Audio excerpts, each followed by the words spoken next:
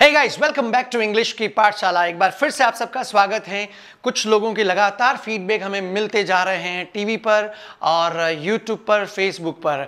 यदि आप में से कोई फेसबुक पर अब तक नहीं जुड़ा है तो पेज को लाइक करें titanium education of English language private limited के नाम से फेसबुक पेज बना हुआ है। उसे आप क्लिक करके और आज ही उससे जुड़ें। इंस्टाग्राम पर टाइटेनियम इंग्लिश क्लासेस के नाम से आप फॉलो कर सकते हैं और यूट्यूब पे के सर्च इंजिन में आप सर्च कीजिए। मेरे नाम से मुकेश जन्मा के नाम से और चैनल को सब्सक्राइब कीजिए बेल आइकन को प्रेस कीजिए और इस वीडियो को लास्ट तक देखिए क्योंकि हमने कुछ आसान टेक्निक से इन इंग्लिश के लेसन्स को स्पोकन के हिसाब से ढाल रखा है। इसलिए आप लास्ट तक देखिए स्लाइड शेयर करेंगे लास्ट में। आप और हम स्टार्ट करेंगे शुभारंभ करते हैं। बोलो लेट्स स्टार्ट हम पढ़ते हैं बोलिए लेट्स स्टडी और आप लोग यहाँ जैसे हम क्लास में प्रैक्टिस करवा रहे हैं आप घर पर जैसे भी जिस भी हालात में आप वीडियोस को देख रहे हैं आप ऐसे ही बोलकर अभ्यास करें राइट आ, हम आज स्टार्ट कर रहे हैं पैसिव का सेकंड पार्ट इससे पहले वाली क्लास में हमने पढ़ा था पैसिव का फ़र्स्ट पार्ट मैं ब्रीफ रिवीजन दे रहा हूँ क्योंकि हो सकता है आप में से कई सारे लोग आज पहली बार जुड़े हो और यदि नहीं देख पाए हो तो प्रीवियस वीडियो को आप देखें। आपको ईजिली आइडियाज़ मिल जाएँगे कि पैसिव कैसे लर्न करना है, क्योंकि हम एक्टिव से पैसिव नहीं पढ़ रहे हैं, हम डायरेक्ट पैसिव वॉइस पढ़ रहे हैं राइट स्कूल में आपने एक्टिव पैसिव पढ़ा था एक्टिव को पैसिव में कैसे बदलना है राइट हम डायरेक्ट पैसिव वॉइस पढ़ रहे हैं, क्योंकि एग्ज़ाम में कोई क्वेश्चन नहीं पूछेगा। एग्ज़ाम में तो क्वेश्चन पूछते हैं स्पोकन में आपको कोई क्वेश्चन नहीं पूछेगा कि ये एक्टिव इसका पैसिव बना राइट इसलिए कल वाला एग्ज़ाम्पल वापस दे रहा हूँ मैं, निगाहें सामने। मैंने तीन पॉइंट पर कल शुरुआत की थी, आज पैसिव का सेकंड पार्ट है, और कल बताया था प्रीवियस क्लास में कि पैसिव किससे बनता है? बी एक्शन थर्ड फॉर्म किसे? तीन पॉइंट बताए थे हिंदी में कि हिंदी में कब एक्टिव पैसिव आते हैं आपने कभी दिमाग नहीं लगाया है ना? मैंने बताया था किसी भी सेंटेंस में हिंदी के यदि किसी सेंटेंस में काम करने वाले का नाम ले रखा है कैसे? जैसे काम मैं कर रहा हूँ मैं क्लास पढ़ा रहा हूँ आप पढ़ाई कर रहे हो तो यहाँ काम करने वाला कौन है? आई एंड यू तो किसी भी सेंटेंस में यदि डूअर प्रेजेंट है काम करने वाला मौजूद है तो उसे हम एक्टिव वॉइस कहते हैं हिंदी में। और इसका उलट, यदि किसी सेंटेंस में काम करने वाला मौजूद नहीं, सिर्फ़ काम का होना बता रहे हैं कि ये काम हो रहा है, वो काम हो रहा है तो उसे हम क्या बोलते हैं? पैसिव वॉइस और हिंदी में समझ में आ गया कि ये पैसिव वॉइस है उसको इनडायरेक्ट इंग्लिश में कन्वर्ट करना तो उसके लिए यूज़ करेंगे बी एक्शन थर्ड फॉर्म ये एक्शन थर्ड फॉर्म वास्तव में कंडीशन का रोल प्ले करती है जो टेंस परिवर्तन होता है वो बी से होता है और बी का नॉलेज हम पहले ले चुके हैं। बी की फ़र्स्ट इधर लिखा हुआ बी की फ़र्स्ट फॉर्म बी की सेकंड फॉर्म एंड बी की थर्ड फॉर्म ये बीन तो पूरा टेंस परिवर्तन इस बी से ही होगा। तो ब्रीफ रिवीजन ले रहा हूँ कल वाला टॉपिक को एक एक सेंटेंस से वापस बता रहा हूँ। पहले हिंदी में। यदि मैं कहता हूँ कि मैं नई बुक पब्लिश कर रहा हूँ, ये सेंटेंस एक्टिव है या पैसिव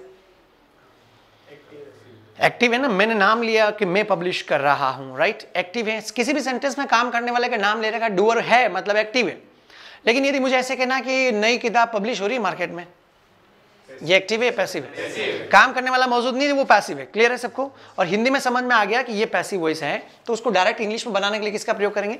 बी एक्शन का कोई आपको जो स्कूल के नियम याद रखने की ज़रूरत नहीं एक रूल से आप सारे टेंस का पैसिव बना सकते हो ओके तो मैं सेंटेंस बना रहा हूँ नई किताब पब्लिश हो रही है आपने कहा था ये पैसिव वॉइस है और पैसिव किससे बनता है? बी एक्शन थर्ड फॉर्म तो नई किताब को हम बोलेंगे न्यू बुक अकेली है सिंगुलर है तो इस पैसिव के लिए बी थर्ड फॉर्म उठा के यहाँ रख दो पैसिव बना रहे हैं हम लोग. तो बी और पब्लिश की थर्ड फॉर्म पब्लिश्ड ओके यहाँ तक क्लियर है?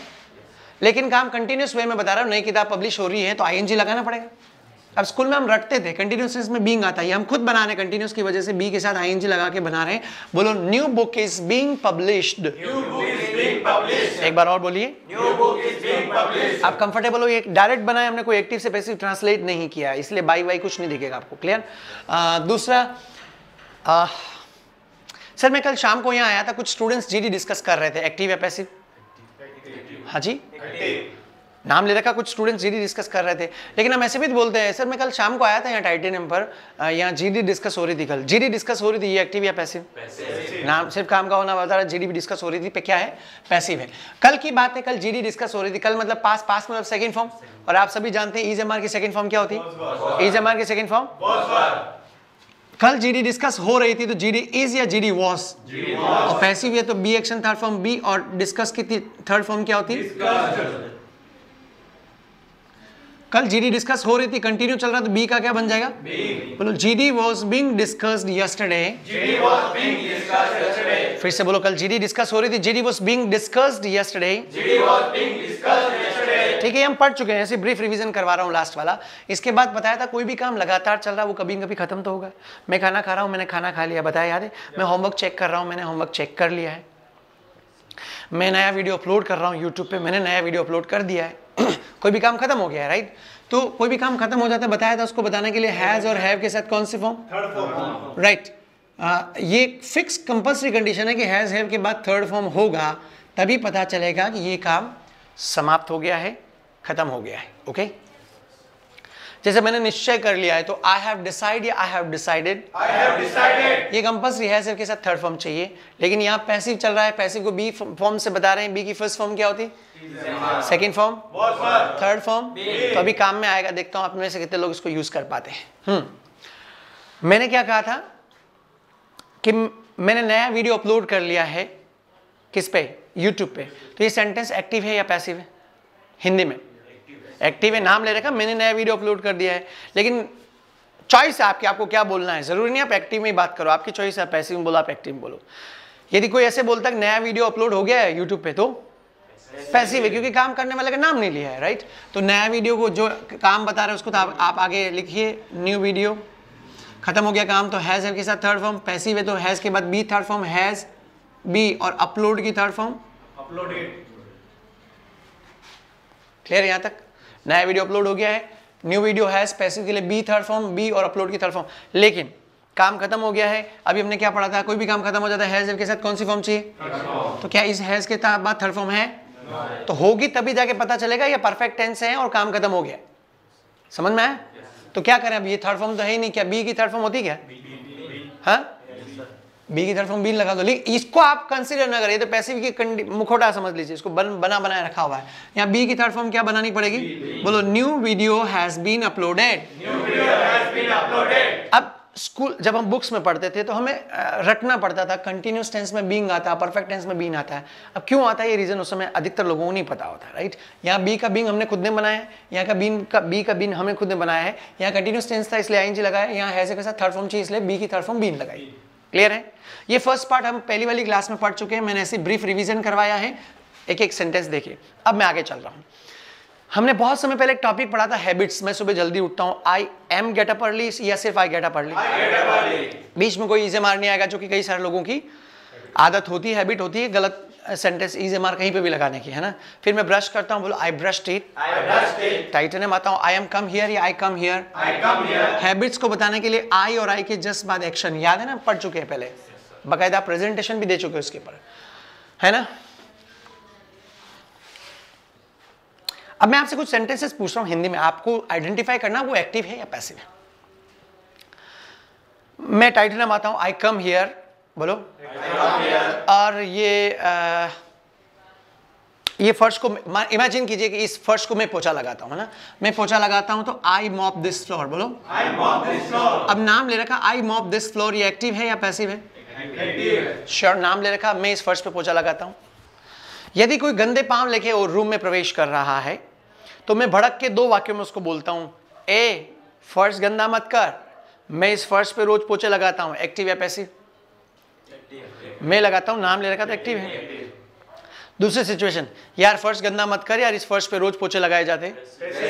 पैसिव है नाम नहीं लिया, सिर्फ़ काम का होना बता रहे हैं राइट लेकिन आपको पैसिव समझा है उससे पहले थोड़ा सा ध्यान रखिएगा कि जब हम एक्टिव बोल रहे हैं, मैं इस फर्श पे पोछा लगाता हूँ आई मॉप दिस फ्लोर तो आई और एक्शन के बीच में कुछ भी नहीं आ रहा राइट तो जब पैसिव बनाएँगे, तब भी सब्जेक्ट के तुरंत बाद एक्शन आएगा। और पैसिव बनता किससे है? बी एक्शन थर्ड फॉर्म तो सब्जेक्ट के तुरंत बाद बी एक्शन थर्ड फॉर्म आएगा। कब? जब हम पैसिव का वाक्य बनाएँगे तब। पहले तो वही स्थिति वापस रिपीट कर रहा हूँ। कोई गंदे पाँव लेके आया। मैं कह रहा हूँ गंदा मत कर यार। मैं इस फर्श पे पोछा लगाता हूँ तो क्या आएगा? आई मॉप दिस फ्लोर बोलो। I mop this floor. दूसरी स्थिति हम ऐसा भी तो बोल सकते हैं यार यार इस फर्श को गंदा मत कर यार। इस फर्श पे रोज पोछा लगाया जाता है। इस फर्श पे रोज पोछा लगाया जाता है। ये क्या है?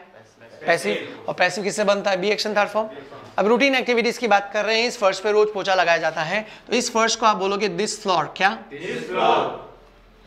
क्या कहा था? सब्जेक्ट के तुरंत बाद एक्शन आता। पैसिव में भी दिस फ्लोर के डायरेक्ट बाद बी थर्ड फॉर्म उठा के रख दो। दिस फ्लोर बी और मॉप की third form. Mopped every day बोलिए. अब थोड़ा ऑकवर्ड लग रहा होगा आपको ना? कैसा? स्कूल में हमने नहीं पढ़ा। मैं लॉजिक से समझा रहा हूँ समझे? This floor be mopped every day. बिल्कुल ऑकवर्ड है क्योंकि प्रेजेंट सिंपल टेंस में सिंगुलर प्लूरल का लफड़ा रहता है। तो यदि आप चाहो तो इस बी को हटा के बी की फ़र्स्ट फॉर्म क्या होती? ताकि आप लॉजिक के साथ इसको समझ सके। स्कूल में रटना पड़ता है। तो बी हटा के पैसे बी थर्ड फॉर्म से बन रहा है। तो बी की जगह हम सिंगुलर प्लूरल की वजह से क्या रख रहे हैं? इज़ एम और आया समझ? क्लियर सबको? ठीक है इस फर्श पे रोज पोछा लगाया जाता है तो बी अब क्या करूँ? दिस फ्लोर बी मॉप्ड की जगह इसका नया रूप क्या हो जाएगा? ईज आ जाएगा ठीक है ना? तो दिस फ्लोर बी की जगह इज़ एम में से सिर्फ़ मैं सिंगुलर है तो इज़ उठा रहा हूँ। बोलो this floor is mopped every day. फिर से बोलिए. इस फर्श पे रोज पोछा लगाया जाता है। क्लियर है? कैसे आया? ये इज़ थर्ड फॉर्म है वही बी थर्ड फॉर्म है क्योंकि बी की first form is am are होता है। एक ही लॉजिक से हम पैसिव पढ़ रहे हैं। और डायरेक्ट पैसिव बना रहे हैं, कोई एक्टिव से पैसिव ट्रांसलेट नहीं कर रहे हैं। जिनको एग्ज़ाम की प्रिपरेशन करनी है, उनको वही पढ़। लेकिन ये पैसिव पढ़ने के बाद आपको वो पैसिव बड़े आसान लगेंगे। अभी हो सकता है वो आपको डिफ़िकल्ट लगता हो, जो स्कूल वाले पैसिव हैं। ये हम डायरेक्ट स्पोकन पढ़ रहे हैं तो हमें डायरेक्ट पैसिव बनाना पड़ेगा, क्योंकि स्पोकन में कोई आपको ये नहीं कहेगा कि आई मॉप दिस फ्लोर इसका पैसिव बना। आपको स्पॉन्टेनियसली खुद को बोलना है। और आपकी चॉइस है कि आपको एक्टिव बोलना है या पैसिव बोलना है। राइट यहाँ तक क्लियर है? ठीक है। मैं इस बिल्डिंग को हर साल पेंट करता हूँ। एक्टिव या पैसिव नाम ले रखा मैं पेंट करता हूँ। मेरा पेंटर इस बिल्डिंग को हर साल पेंट करता है। पैसिव है? इसमें भी तो नाम ले रखा है ना पेंटर करता है। इस बिल्डिंग को हर साल पेंट किया जाता है। ये पैसिव है। तो आप लिख लीजिए बोल लीजिए पहले तो दिस बिल्डिंग और पैसिव के लिए बी थर्ड फॉर्म उठा के रख दो। बी और पेंट की थर्ड फॉर्म पेंटेड आगे एवरी ईयर ठीक है? लेकिन अभी बताया था बी की जगह क्या आ जाएगा? बी की फ़र्स्ट फॉर्म इज़ है हमारा तो this building is painted every year. ये इज़ एम आर के साथ थर्ड फॉर्म सबसे ज़्यादा काम में आता है। जिनका रिटर्न है ना खास करके रिटर्न में ये पैसिव वॉइस रिटर्न में ज़्यादा काम में आता है स्पोकन से भी नहीं जिनकी बुक्स इंग्लिश में है। कई बार हमारे पास बच्चे आते हैं। ट्वेल्थ के जस्ट बाद जो हिंदी मीडियम से होते हैं ना, उनको लिखने में बड़ी दिक्कत होती है। जैसे ही वो इंजीनियरिंग में जाते हैं या प्रोफेशनल कोर्सेज में जाते हैं, एकदम से बुक्स इंग्लिश में आ जाती हैं, वो बच्चे हमारे पास आते हैं कि, सर, हमें लिखना नहीं आता क्वेश्चन आंसर तो उनको हम गाइड गाइड करते हैं कि ये वाला टॉपिक सबसे ज़्यादा काम में आता है जिनका बुक्स इंग्लिश में, खास करके जिसका प्रोसेस बताना हो। प्रोसेस मतलब समझे, जैसे मोबाइल कैसे मैन्युफैक्चर होता है, आपको बताना है तो आपको लिखना पड़ेगा design is prepared subject is a is a mark के साथ third form then after components are manufactured then all components are mounted on pcb and then that circuit is tested in laboratory all the errors are removed तो ke के साथ form easy mr के साथ third form सबसे easy passive है और सबसे ज़्यादा काम में आने वाला है ये रिटर्न में तो जो आप में से अभी इंग्लिश मीडियम में है स्कूल से हिंदी मीडियम में रहे और अभी इंग्लिश मीडियम है कॉलेज में तो उनके लिए ये ज़्यादा ध्यान दें जो इस प्रोग्राम को देख रहे हैं वो भी इस टॉपिक का ज़्यादा प्रयोग करें आप ज़्यादा सेंटेंसेस बनाएँ ओके मैं इस अभी टाइम की कमी है तो मैं ज़्यादा नहीं बता पाऊँगा।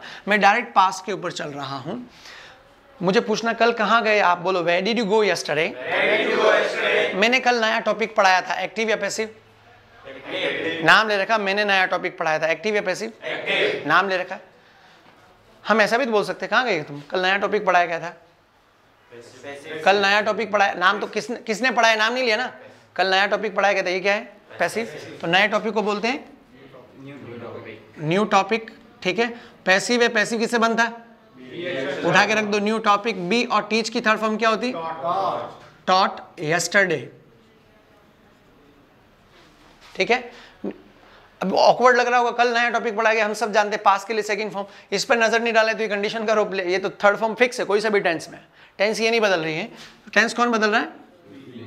ओके तो कल नया टॉपिक पढ़ाया गया था new topic be taught yesterday passive के लिए हमने बी थर्ड फॉर्म तो लगा दिया। लेकिन आप सब जानते हैं पास्ट के लिए कौन सी फॉर्म सेकंड फॉर्म तो क्या करें, इसमें तो सेकंड फॉर्म है नहीं, क्या बी की सेकंड फॉर्म होती क्या? क्या होती? वॉज़ वर्ड तो यहाँ पे वॉज़ लगा के बोलो कल नया टॉपिक पढ़ाया गया था. बोलो new topic was taught yesterday.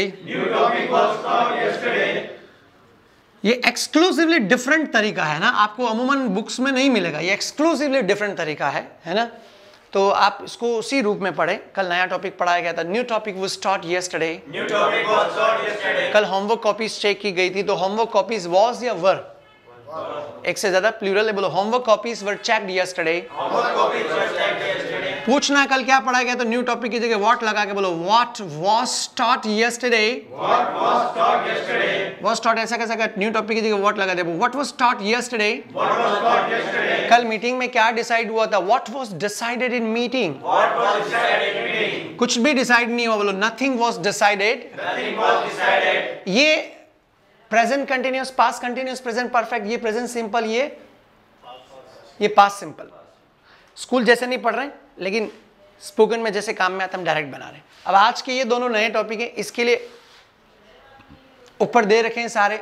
EJ मार के साथ थर्ड वॉजवर के साथ थर्ड फॉर्म तो बी थर्ड फॉर्म पैसिव से बनता है, वो बी की first form is am are third form second form was were third form right बाकी ये ब्लैंक स्पेस में खुद को ईजे मार वॉजवर भरना है, और आपको खुद को सेंटेंसेस बना के प्रैक्टिस भी करना और लिख कर भी लाना नेक्स्ट क्लास में ओके और आप सभी लोग जो इस प्रोग्राम को घर पे देख रहे हैं, बहुत फास्टेस्ट क्योंकि टाइटेनियम में हम करीब करीब डेढ़ घंटे में इन टॉपिक्स को फिनिश करते हैं।